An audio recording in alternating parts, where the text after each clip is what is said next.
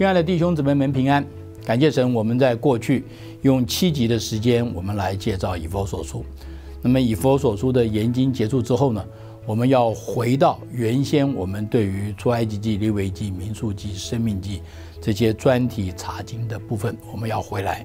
我们将会有十二集连续的来介绍有关于这一个从出埃及记到生命记的律法的部分，那么包括了。我们熟悉的十诫的介绍，也有民事律法、词汇律法。我们特别也在圣洁的法这个法条里面会去介绍有关于祭司、立位人呢，或者是有关于一些洁净的礼仪了、会幕了，或者是献祭了、节期，都会在这十二集里面来向大家介绍。